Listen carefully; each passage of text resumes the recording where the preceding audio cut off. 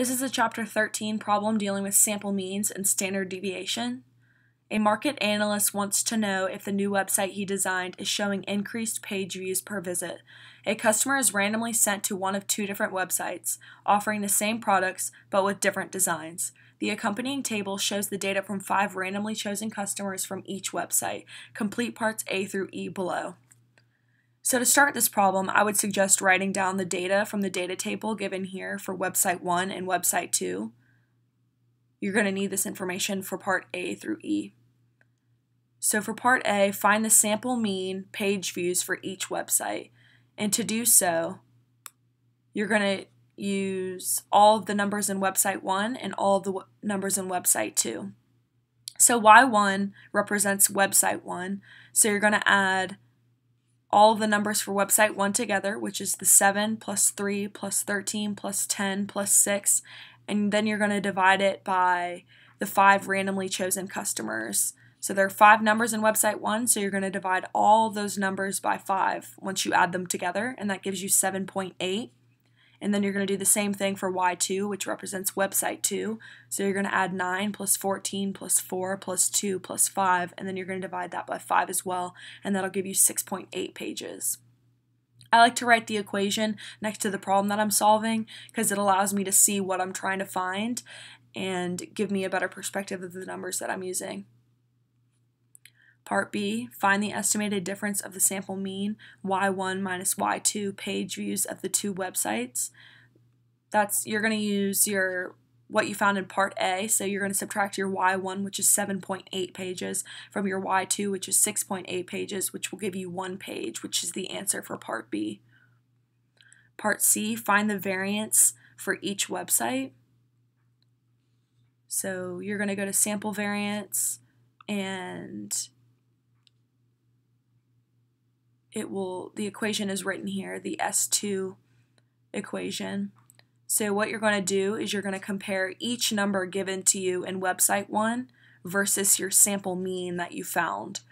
So for instance, you're going to subtract the 7 for website 1 from your 7.8 pages that you found, and you're going to put that to the second power, plus 3 minus your 7.8 to the second power, plus your 13 minus your 7.8 to the second power, plus your 10 minus your 7.8 to the second power, plus 6 minus 7.8 to the second power, divided by n minus 1. And like we said in part A, n is the 5 randomly chosen customers. So you subtract the 5 minus 1, which gives you a 4. And when you plug that into your calculator, that'll give you a 14.7. And you do the same thing for your sample 2, which is website 2.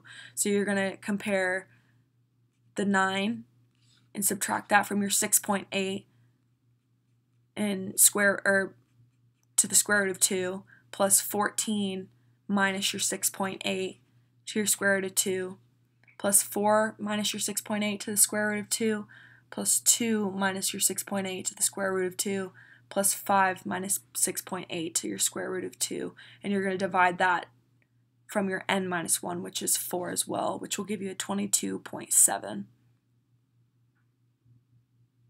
How I found it easy to enter it into your calculator is to make sure that where there are parentheses that I have written, you make sure you enter that into your calculator that way to make sure that you get the correct answer because sometimes if you don't do the parentheses, you can get a different answer and it will be wrong. Part D, find the sample standard deviations for each website. So in order to find your sample standard deviation, it's your S equals the square root of S squared. And so what you're going to do is for whatever number you found for part C, so for instance, your 14.7 and your 22.7, all you're going to do is square root that. So for S1, the square root of 14.7 equals 3.83, and the square root of 22.7 is 4.76, and both of those are your sample standard deviations for part D. Part E, find the standard error of the difference of the sample means. That is represented by this equation here, which is the SE y1 minus y2 equals the square root of S1 over n1 plus s2 over n2, and that is what you found in part C which is your sample variances for website 1 and website 2.